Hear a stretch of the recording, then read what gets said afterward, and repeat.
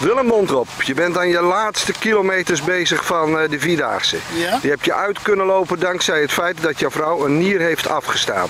Dat klopt. Zij kreeg complicaties, kon, het, eh, kon niet meedoen deze keer. Jij wel. Hoe is het je vergaan onderweg? Ja, en, eh, het is wel goed gegaan.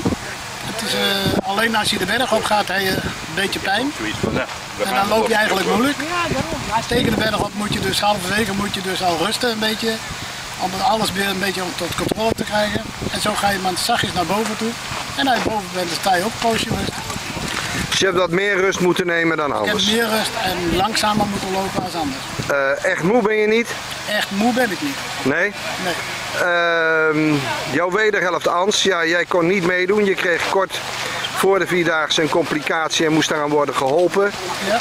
Was het eh, moeilijk voor je deze Het dagen? was echt een hard gelach, want eh, eigenlijk loop je dan tussen de mensenmassa.